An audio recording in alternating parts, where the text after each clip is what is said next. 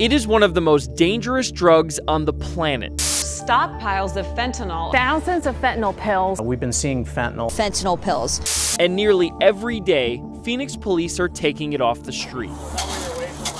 Literally, in this case, when a suspected dealer dumped their stash during a traffic stop in Maryvale, or when Phoenix police officers found 166,000 fentanyl pills stuffed inside a spare tire.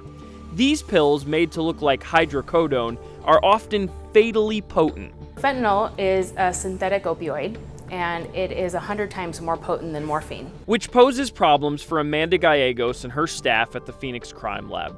It's their job in toxicology to detect drugs in someone's system, whether it's a person accused of driving under the influence or any other crime.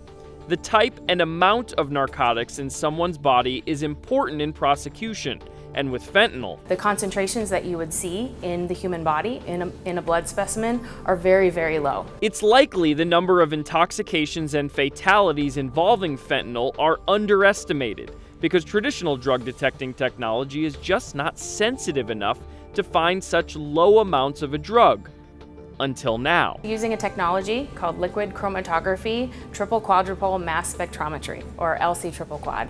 So essentially that's a technology that is very, very sensitive and we're able to detect drugs at very low concentrations. Which can give law enforcement a better idea of what may be affecting a criminal's behavior.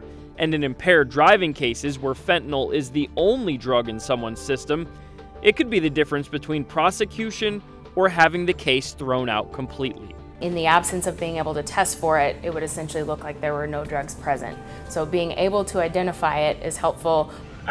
Hopefully making our streets safer for drivers and our families safer in general. Seeing our team work together in order to make that happen has been very rewarding.